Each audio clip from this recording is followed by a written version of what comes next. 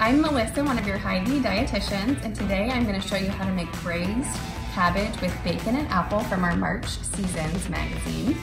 So bacon and cabbage is a traditional recipe that might be found in Irish homes, so this would be great for St. Patrick's Day. And the highlight here is cabbage. Cabbage is often overlooked, but it's really versatile and it's a good source of vitamin C and vitamin K.